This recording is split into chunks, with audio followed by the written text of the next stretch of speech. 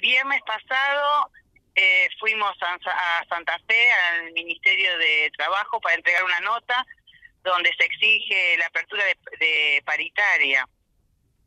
Eh, necesitamos la apertura de paritaria, que nos convoquen para hablar eh, sobre los, el tema salarial, que necesitamos que se adelanten los tramos, porque ya ha quedado desfasado desde este mes en adelante, desde lo que se había acordado en marzo, bueno, ya el porcentaje ha sido mayor de inflación. Y además del adelanto de los tramos, necesitamos también, bueno, que después haya un aumento en el porcentaje. Ese es uno de los, de los puntos y, bueno, si después del receso no nos convocan a paritaria, tendremos que juntarnos y en asamblea y decidir cuáles son las acciones a seguir eh, después del receso. Eh, después el otro punto que también nos interesa y que nos preocupa es sobre las horas extendidas, eh, que no se nos convocó para el debate y, pensar juntos si es conveniente o no y cómo esto afecta a, lo individual y a lo colectivo, desde los docentes y, los, y las familias.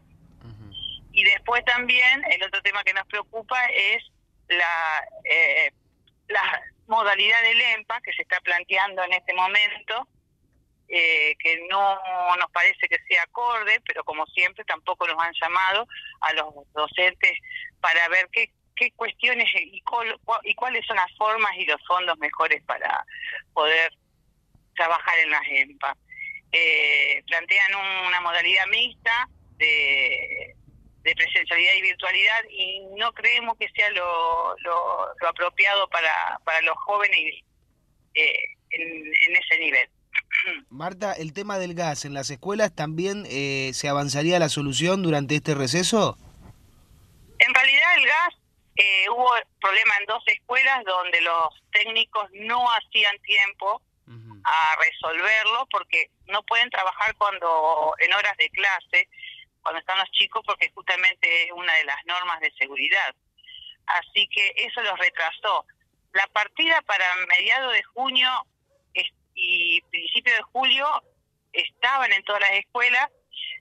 Los dos técnicos que trabajan, los dos gasistas que trabajan en toda la región, eh, mejor dicho, en todo el departamento, también ya eh, tenían en casi todas las escuelas los, los planos aprobados, salvo en dos eh, el tema era que ahí aparecía una tercera variable, un tercer problema, que era que no hacían tiempo a resolver todas las dificultades, porque bueno, eran horas de clase y ellos tenían que trabajar o en el recreo o en horarios extraescolares.